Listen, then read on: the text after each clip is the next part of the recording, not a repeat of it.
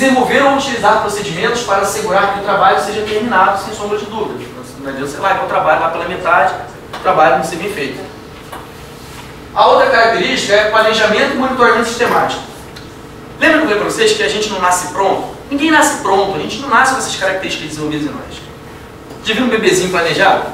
Um bebezinho, não, aquele, meu, aquele um ano de idade, começando a andar lá e tal, altamente planejado, e começa a falar, Mamezinha, agora eu vou papar, e depois eu vou sobremesa, e depois eu vou fazer totô, e depois eu vou fazer pipi, e depois eu vou mimir. Não existe a pessoa ser planejada quando nasce. Isso você desenvolve ao longo da vida. Tá? Eu também já tive momentos que era um, um zoneiro, era bagunceiro pra caramba. Depois de um determinado momento da minha vida, eu falei assim, não, como é, eu quero empreender, eu tenho que ser um cara, né, eu tenho que fazer as coisas com planejamento. Eu tenho que fazer as coisas assim de forma pensada, estruturada. Tá? Estou dizendo que eu seja o modelo da perfeição não, tá pessoal? Não é nada disso não. Mas a gente, a gente tem os nossos defeitos, as coisas... Eu também sei, eu vou falar quais são os meus defeitos. Mas eu também sei quais são os pontos em que eu tenho que melhorar. Eu sei quais são. E eu estou fazendo um exercício constante para melhorar aqueles pontos. Agora outra coisa, planejamento é monitoramento. O que é monitoramento? O que é monitoramento? Acompanhamento. Eu tenho que acompanhar. Não adianta eu fazer a coisa lá no papel, o papel aceita tudo, inclusive, botar na gaveta. Luciano, fiz o meu plano de negócio. É muito comum, é muito comum. Eu, quando faço consultoria nas empresas, eu gosto de vivenciar a construção do plano de negócio lá, como empresário, e, e acompanhar a execução. Por quê? É muito comum um consultor ser contratado, ele faz o plano de negócio, aí cobra uma fortuna e entrega para o cara. Tá aqui pronto, trabalhei. Bota lá na capa, com plumas, paetês, lantejoulas, aquela coisa toda, né? Capa bonita, né? Entrega lá para o cliente. O cliente vai, tá bom, aí bota na gaveta. Não pode, né? Se não tiver acompanhamento, até porque eu falei, alguém que tem bola de cristal, alguém que é evidente, alguma coisa assim, ninguém é. Um planejamento não é uma ferramenta estática, ele é dinâmica. Vocês toda hora tem que olhar e ver se está né, a coisa tá acontecendo. As mulheres, principalmente, que gostam de fazer dieta, por exemplo, né? segunda-feira eu começo. É assim? Segunda-feira eu começo. Aí come até fazer bico no, no domingo, segunda-feira eu começo. Aí eu falo, tudo bem, você quer emagrecer, tá? Por hora. Né? Muitas mulheres que têm essa neura né, que querem emagrecer. Aí eu pergunto, mas vamos lá, você quer emagrecer quando? Ah, não sei. Lembra dos estabelecimentos? Ah, estamos em mês de maio, né? Faltam sete meses até o final do ano, é isso? Mais ou menos? Oito, nove, dez, é, sete meses. Luciano, eu preciso perder 7 quilos até o final do ano. Um cálculo simples, 1 quilo por mês. É fácil assim? Eu divido a meta maior, 7 quilos por dia, tá Não é assim? Aí você fala, pô, não, se eu dividir aquela meta grandona em metas menores, é mais fácil atingir. Então já sei que eu tenho que perder 1 quilo por mês. Agora eu tenho que subir uma, na balança no início. 7 quilos com base em quê? Eu peso quanto? 97, mas quero chegar a 90? Pra mulher é... Aí eu quero, é, eu subo a balança no primeiro momento. Mas depois eu tenho que subir na balança todo momento para ver se aquela minha meta está sendo atingida ou não. Não é isso? Luciano, em vez de emagrecer um quilo, eu engordei dois. Sabe que foi aquela pizza, aquele fundi? O que foi? Então assim, porque às vezes meu plano eu posso estar, tá, eu tenho uma meta, mas eu posso estar tá fazendo coisas que, então, em vez de me ajudar a atingir aquela meta, estão me prejudicando. Eu vou ter que mudar a receita. Aliás, é isso, eu falo isso muito para as pessoas, né? Eu, João, quer mudar o resultado? Quer mudar o seu resu resultado das suas coisas que você está fazendo na sua vida? Muda a receita, meu chapa. Muda a receita. Se você continuar usando a mesma receita, você não vai mudar o resultado. Não é isso? Isso é básico. Tem gente que fala, não, eu não quero mudar minha vida. Agora, prometo, prometo, que eu vou ser um homem fiel. Aí, mas não, sexta-feira, Luciano, é, sexta-feira é o dia que eu tenho que falar lá, eu tenho, eu tenho que ter minha liberdade com meus amigos, sexta-feira é sagrado. Né? Eu tenho que ir pra, pra, lá pro barzinho para chegar às 3 horas da manhã. O cara toda sexta-feira é assim. Mas o cara tem a meta, a suposta meta dele. Se o cara não muda a receita, como é que ele vai mudar o resultado? Não dá, muita tentação, o cara é fraco, Entendeu a primeira coisa? Tem que, se você quer mudar o resultado, mudar a receita. Mesma coisa em negócio. Você quer ser empreendedor? Começa por aí, mudando os seus comportamentos. Porque se você não mudar os seus comportamentos, você não vai ser empreendedor. E acompanhe, monitore. Será que eu estou conseguindo mudar alguma situação? Será que eu estou subindo na balança e eu estou vendo é, diferença, resultado? Ok? Planejar dividindo tarefas de grande porte em subtarefas com prazos definidos. Exemplo, a balança lá dos 7 quilos da mulher lá de 97. Revisar os planos feitos. A gente tem que sempre revisar. Falei para vocês, um planejamento não é uma ferramenta estática, é uma ferramenta dinâmica. Tem que ser revisado sempre. O monitoramento tem que ser sistemático. Baseando-se em informações sobre o desempenho real comparado a novas circunstâncias. Vocês sabem qual é o significado da palavra marketing? Pode falar! Vocês sabem qual é? Propaganda? Marketing significa, estou falando isso para vocês porque minha primeira formação, inclusive, é na área. Então, estou falando com bastante propriedade. Marketing significa, você traduzindo aí, literalmente, mercado em movimento. É isso. Market não significa mercado? Supermarket, supermercado. Né? Market é mercado. E o ING, o, o, sufixo ING. A gente não fala no inglês, quando, né, tudo tem movimento, não tem ING? Walking, né, drinking, farting. A gente não fala essas coisas? Marketing significa mercado em movimento. Portanto, o que, que, que, eu tenho que fazer? Mercado, tá, mercado em movimento, o que significa isso, Luciano? Eu tenho que acompanhar as mudanças do mercado, porque o mercado muda. Se eu não acompanhar as mudanças do mercado, vou morrer na praia. Você acredita? Jacaré que nada de costa, onda leva, tem negocinho? Sei lá, mais ou menos assim. Você não sou muito bom com ditado, não. Eu conheço empresários que tiveram muito sucesso no passado. Hoje são falidos. Por quê? Isso. Fizeram marketing? Não. Compraram o mercado? Não. Repetiam as mesmas receitas de sucesso do passado. Dava certo atrás, cara acredita piamente que vai continuar dando certo hoje. Hoje em dia a lógica é outra, fazer marketing. Se eu quero mudar o resultado, tem que mudar a receita. Porque o mercado é movimento, o mercado está se adaptando e eu tenho que acompanhar esse mercado. Tem um profissional de marketing aí, inclusive, que é o Magia de Souza, acho que é Francisco Alberto Magia de Souza o nome dele.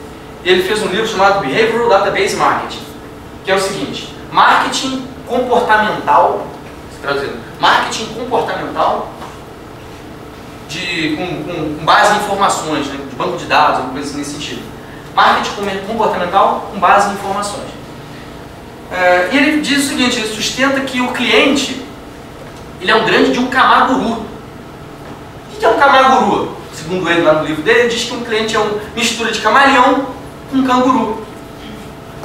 O camaleão ele não se adapta no ambiente no qual ele está inserido. Você estiver em cima de uma rocha, ele fica na cor da rocha. Se estiver em cima de folhagens, ele fica na cor das folhagens. Não é assim? O cliente ele diz também que é assim. Se o cliente está em São Carlos, ele vai se adaptar de uma forma. Se ele está em. Qual outra cidade que ele mora? Brotas. Qual outra? Ribeirão. Se ele está em Ribeirão, vai se comportar de outra forma. Se ele está em Brotas, de outra forma. Em Petrópolis, em Friburgo. Não é isso?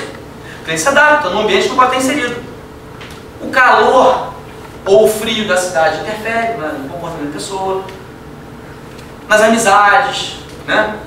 A forma como as pessoas encaram a vida naquela cidade, enfim. Se você está numa região de, mais de, de, de, interior ou numa região mais é, cosmopolita, você vai se adaptando. Então ele diz que o cliente é assim. Outra coisa, o cliente é como um canguru. Ele salta de nichos em nichos, assim como um canguru. Numa sociedade capitalista que a gente vive, é, permite ascensão e queda de classes sociais, inclusive socioeconômicas. Não é isso? Você pode nascer rico, morrer pobre, pode nascer pobre, morrer rico, pode nascer fudido, morrer pior ainda. e aí o que acontece? É, a gente tem que se adaptar. O cliente é assim. O cliente ele vai mudando o comportamento, comportamento dele em função do momento no qual ele está vivendo. É, quem acha que conhece muito bem o cliente, eu pergunto isso muito nos cursos, palestras e tal, o pessoal fala assim, ah, eu conheço, Luciano, muito bem meu cliente. Eu falo, engano o seu, meu jovem. Você conhecia até ontem, hoje você já não conhece, o cliente é um grande um camador aqui, que é, cara? Eu explico e tal. Ah, porque ele muda, o cliente ele era uma coisa, hoje ele é outra. Então eu tenho que me adaptar. Eu tenho que fazer marketing, porque o mercado está em constante adaptação, constante movimento. Eu tenho que me adaptar ao mercado, me adaptar ao cliente. Luciano, significa dizer que se o cliente mudou de classe socioeconômica, quer dizer, ele era rico e agora é pobre, eu tenho que abaixar o preço do meu produto para atingir aquele mesmo cliente? Não, não é isso.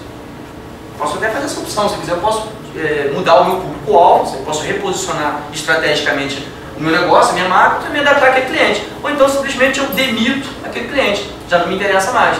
Mas a ideia não é essa, a ideia é que o cliente ele também tem gostos, ele tem é, comportamentos, e isso muda. É, um exemplo muito legal Quem que se lembra da época da, do Nescau? Nescau, aquele pote Nescau, que vinha com aquela infernal embalagem que você tinha que cortar aquele alumínio. Lembra disso? Aí você tinha aquilo é um inferno. Você tinha que empurrar depois com o dedo assim o alumínio para dentro. Porque senão toda vez que você enfiar ali a colher ali no Nescau para jogar, você cortava. Já aconteceu que cortar alguém, alguém se cortar? Não? Não? Ninguém nunca se cortou? Que milagre, eu sempre me cortava. Você sempre pensou uma besta quadrada, eu sempre ou se eu gostava mesmo daquilo para um dia na vida, eu ter assunto para falar na palestra. Não pode ser nada. Aquilo era um inferno, a gente sempre se cortava. E era um. Ah, até, até repica, porque era um alumínio tão fininho e fazia um corte profundo mesmo, igual uma gilete. Quando você passava o dedo assim, ó. Sabe? Só de pensar eu quase desmaio, cara. Aí teve uma, uma, uma, alguém, uma cliente nos Estados Unidos, teve a feliz ideia de mandar um e-mail e falar assim, pô, não aguento mais, toda vez eu corto meu dedo, sai sangue, fica pingando sangue lá no Nescau lá. alguém mandou um e-mail. Porque o cliente, a, a cliente ele, ele, muda, porque ele começa a perceber o seguinte, poxa, primeiro que aquilo era uma coisa horrorosa, né? De, de inconveniente isso acontecer, um acidente desse. E segundo que o cliente fica mais exigente. Ele fica mais exigente. Ele viu que tinha um concorrente lá da, da Nescau, que a embalagem não era assim, era diferente, não se cortava pô. Né? Às vezes você tem. Parece uma bobagem, pessoal. Mas se você tem criança em casa, você tem que pensar nisso. Até nisso. Às vezes a criança, não é, não é criança de um ano, não é aquela história do criança planejadinha de um ano, né, que pega assim e bota. Não é isso. Mas às vezes tem criança em casa, aquela mesmo que se serve lá, depois corta o dedo. É ruim, sabe?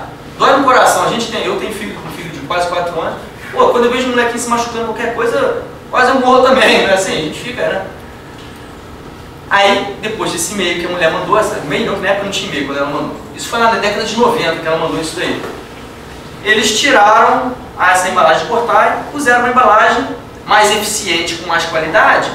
Você puxava, que é a embalagem até hoje, né? Você puxa ali, não importa, não tem acidente nenhum. Com base em e-mail. Eu estou vendo um dia, eu sempre falei isso, né? Eu estou vendo um dia em que todas as embalagens das caixas de leite terão, terão rosca que eu acho um inferno. Você corta um lado da caixinha de leite, corta do outro, você até começa a botar ali, sabe, no copo ali, aí sai muito. Não é assim? Acho que nojento. Aí depois fica aquilo aberto lá, quando, é, quando não é caixinha de creme de leite. Caixinha de creme de leite você bota na geladeira o que, você, o que sobrou, né? Você bota um pouquinho, sobrou aquilo ali, depois que você vai pegar de novo, tá aquela, aquela gosma, sei lá o que é, dura, na pontinha, você tira uma gosma da pontinha e bota o restante. Pelo amor de Deus. Sabe? Não sabe ninguém, né? Pensa numa embalagem mais, mais interessante. Então o cliente está exigente, a gente tem, tem que mudar, tem que se adaptar a ele. Senão ele vai deliberadamente trocar a gente pelo concorrente, no dia que ele tiver uma experiência negativa, e vai ficar com o concorrente. Tá? Bom, falando do planejamento, eu estou no número 4, eu falei que era 10, mas vai até o número 100, tá? É que eu não queria dizer isso para vocês, tá? A gente está no número 4 ainda. Até 9 horas da noite dá tempo, a gente termina isso daí.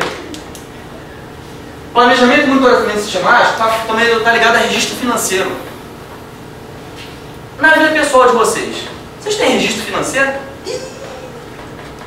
Tem de nada, né? Vocês sabem quanto vocês gastam? Vocês não sabem, mas eu sei quanto minha mulher gasta.